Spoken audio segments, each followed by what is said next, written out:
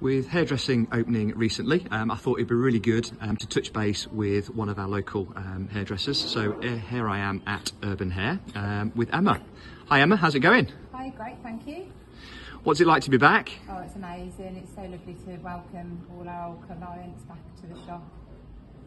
And um, and what sort of things have you done um, in readiness to support the kind of safety of yourself and your staff and, and clients? So as you can see, obviously we're wearing visors, disposable aprons. On our sign here we have loads of things we've implemented throughout the shop. Fantastic. Could we could we take a look at what life is like inside? Yeah, of course you Yeah. Thank you. So obviously as you come into the salon, we've got our certificate saying we've complied to everything we need to. We ask all clients to sanitise your hands. We then give you a package, and that's a mask and a disposable gown. To a section that is fully sanitised in between each client.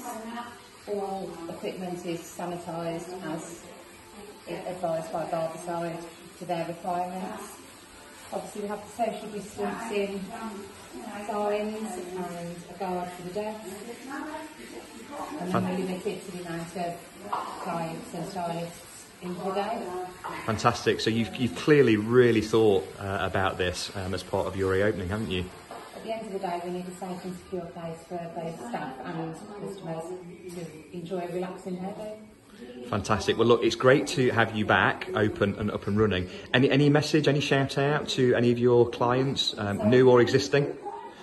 We had a lovely comment off one of our clients who's a more elderly lady um, in the vulnerable category. So we're opening on a Monday specifically for vulnerable people.